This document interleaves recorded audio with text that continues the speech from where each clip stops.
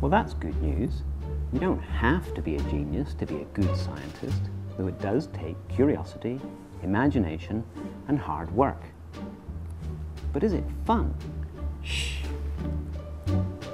I mean, there is a thing that I get to do from time to time repetitiously, which is very exciting and still excites me. And I got to do it again this week for the first time in a, in, in a while, which is suddenly realize that I'm the first person who's understood something. Well, um, after I did my postdoc in London, I went on to Amsterdam. I was working in the Netherlands and I worked in a very small biotech company. Was, they had this really amazing chicken virus that had this really amazing protein that just sort of caused cancer cells to commit suicide, but when you put it on healthy cells, it didn't do anything. So it looked like a sort of magic bullet. Uh, and that then led me to my PhD. Uh, I moved up to the northeast of Scotland to the University of Aberdeen to do that. Uh, and I worked with a guy called Professor Paul Fowler. Uh, and I have to say that that three years of my PhD was the best three years of my life.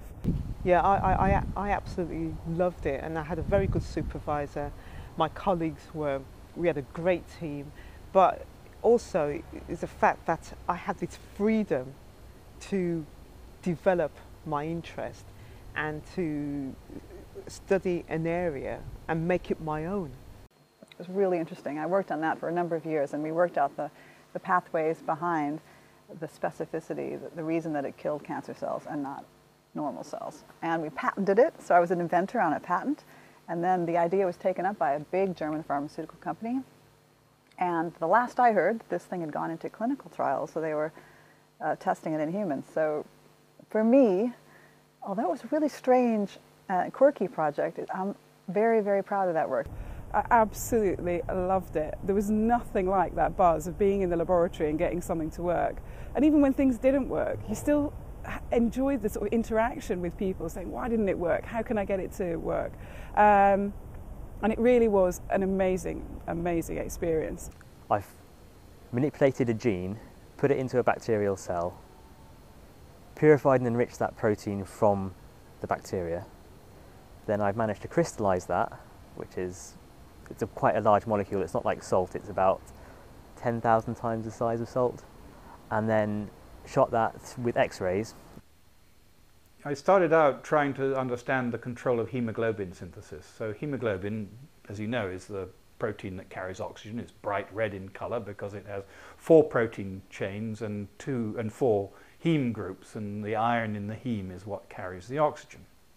Okay, so I was really in intrigued by uh, findings showing that if you deprived these red cells of iron, they didn't make any hemoglobin. Now they could have made, of course they couldn't make hemoglobin because they didn't have iron, but they could have made the globin, the protein bit, and then put the heme in later, but they didn't. They actually shut off the protein synthesis. And Richard Jackson, a colleague, very dear colleague, and I worked on this for, I don't know, a total of about 10 years, I suppose, before we, we, we, we cracked it.